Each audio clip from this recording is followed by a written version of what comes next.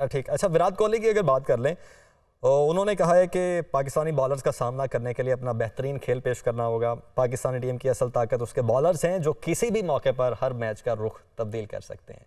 अच्छा इंटरेस्टिंग बात यह है कि जितने लोगों ने बात की है, बहुत पॉजिटिवली सारे बात कर रहे हैं पाकिस्तानी टीम के लिए अभी तक।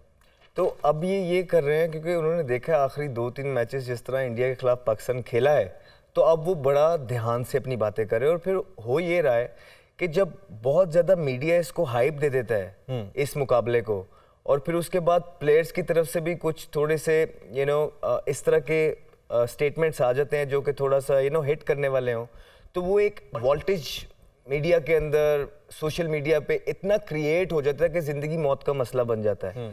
तो अब वो इसी वजह से आखिरी दो तीन दफ़ा अगर आप देखेंगे तो इन लोगों के जो जो सोशल मीडिया टीम्स भी साथ हैं पाकिस्तान की इंडिया की वो इस तरह की फुटेजेस भी आउट करती है जिसमें दोनों टीम मिल रही हैं। Exactly exactly. रिसेंटली जब कल प्रैक्टिस कर रहे थे तो मुलाकात भी हुई है तो शाहिन शाह अफरीदी शादाब खान से लास्ट टाइम भी ऐसे ही था। तो ये सिर्फ़ ये टैक्टिक्स होती हैं कि इसको इस मुकाबले को जितना नॉर्मल कर दिया जाए अपनी तरफ़ से प्लेयर्स कोशिश करते हैं।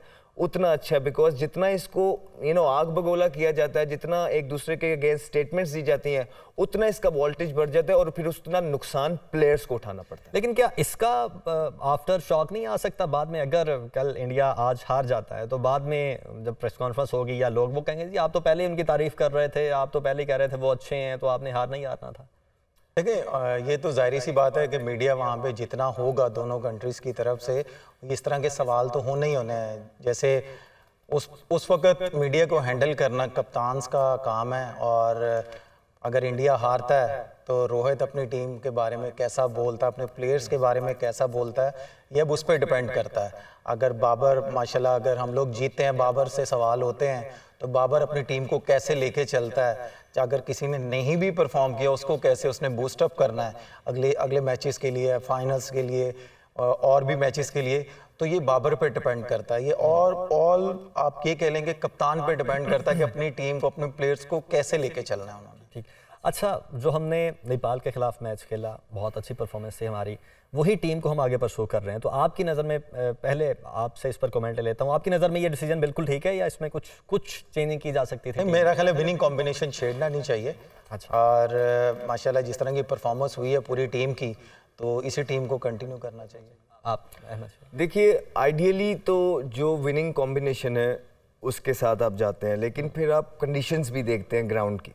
कि क्या है क्या नहीं। अब पाकिस्तान ने अपनी प्लेइंग इलेवन कल की अनाउंस कर दी हुई है। Exactly exactly. तो वो सेम के साथ ही जा रहा है। सो so, इसका मतलब है कि कोई ऐसा जितने उन्होंने डिफरेंस लगा नहीं। क्योंकि अगर पाकिस्तान की देखा जाए बड़ी बैलेंस सी बड़ा सेफ़ चला है पाकिस्तान। उनके पास लेफ़्ट आर्म स्पिनर भी है नवाज़ की शक्ल में जो कि बैटिंग भी कर लेता है। शदाब उनके पास लेग स्पिनर है जो कि बैटिंग भी कर लेता है। तीन फास्ट बॉलर उनके पास पूरे हैं। ठीक है फिर एक ऑलराउंडर उनके पास जो है ना फ़हीम अशरफ की शक्ल में भी एक ऐसा है। तो ये बड़ी एक सेफ़ लाइन है और उसी के साथ चल रहे हैं। मैं अगर अगर आप मुझसे पूछें तो मुझे ज़्यादा शौक है जेनुअन बॉलर्स खिलाने का। जो बैट्समैन हैं वो बैटिंग करें। एक ऑलराउंडर होता है बीच में और जो बॉलर्स हैं उनकी सिर्फ़ बॉलिंग एबिलिटीज़ देखी जाए कि बॉलर कितने बड़े हैं। चाहे वो स्पिनर है चाहे वो फास्ट बॉलर्स हैं। हम कहीं ना कहीं अब इस चक्रों में होते हैं कि हमारे जो बॉलर्स हैं ना वो बैटिंग, भी करें और हमारी जो है ना बैटिंग वो ग्यारहवें नंबर तक चले ले, लेकिन अगर ऐसा होगा तो फिर ही मिडल ऑर्डर थोड़ा सा बेहतर नहीं सर ऐसा नहीं है। देखिए आपके मैं मुझे मेरे बॉलर्स का काम है मुझे विकेट्स लेके देना। आप ओडीए क्रिकेट नहीं जीत सकते जब तक आप विकेट्स नहीं लेंगे। आप नहीं जीत सकते। तो आपके जो बॉलर्स हैं जब तक आपको विकेट्स नहीं लेके देंगे इस तरह के बॉलर नहीं आप जो स्पिनर है पाकिस्तान स्पिनिंग पे थोड़ा स्ट्रगल कर रहा है। अगर आप हाँ। पाकिस्तान के रिकॉर्ड्स देखेंगे तो फास्ट बॉलिंग पे नंबर वन पे है स्पिनर पे बॉटम में है। पिछले पूरे एक डेढ़ साल से जो स्टैट्स आए हैं वो बॉटम पे है। तो उसकी कोई ना कोई वजह होगी तो वो बॉटम पे है। तो मेरा ये ख्याल है मेरा ये मानना है कि जो उसामा मीर है हाँ, हाँ। पाकिस्तान के पास इस टाइम वो बड़े ज़बरदस्त बॉलर है। यकीनी तौर पर वो